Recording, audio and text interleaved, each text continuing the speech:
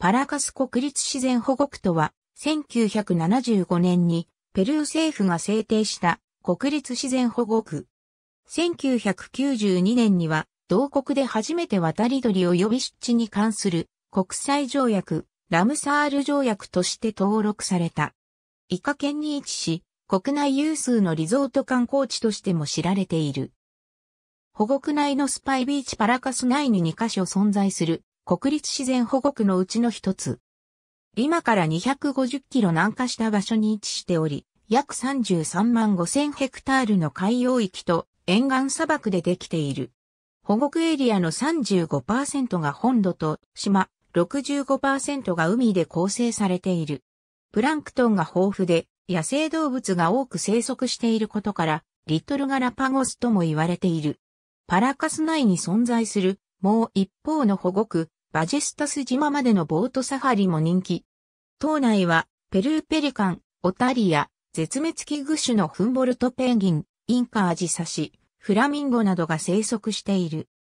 パラカス国立自然保護区と同様の管理下にあると思われることが多いが、厳密に言うとバジェスタス島は、ペルー国内の島々を統括するレイサーバナシオナル、シーステムデアイラス、アイロテイスワイ、プンタスグアンダスの管理下にある。文化遺産でもあるパラカスの地上へカンデラブロ保護区内を回るツアーやバジェスタス等のボートサファリとのセットツアーが人気。自転車やバギーをレンタルするアクティビティも多い。敷地内には複数のビーチがあり、夏場は多くの観光客が押し寄せる。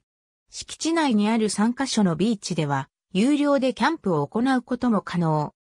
2018年には42万7013人の観光客が訪れ、プロンパーが発表した2018年にペルーで最も観光客が訪れた国立自然保護区ランキングではバジェスタス島に次ぎ全国2位となった。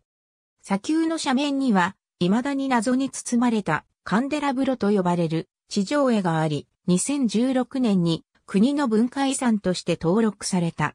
沿岸砂漠地帯にあるため、一年を通して日光が強く乾燥している。夏場は18度から30度前後。冬場は12度から20度程度となるが、頻繁に強風が吹くことから、体感温度は低く感じることが多い。ペルー環境庁の管轄となる国家自然保護区、管理事務局の職員及びボランティアが常駐しており、保護区内の安全パトロールや管理、自然保護の啓発活動などを行っている。保護区内には主要となる事務所の他に守衛所が4カ所設置されている。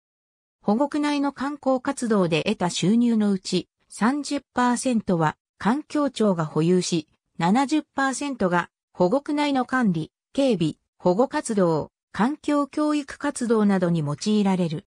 近年、増加する観光客の数に従って、ゴミの投棄や違反行為の増加が相次いでおり、取り締まりを強化している。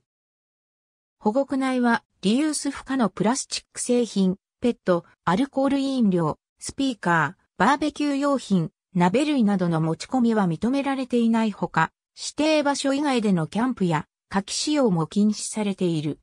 ただし、ユマンケビーチ及びラグニーヤビーチのみ、バーベキュー用品、キャンプ、火器使用が許可されている。パラカスの地上へカンデラブロは文化遺産として登録されているため、一般の立ち入りが禁止されている。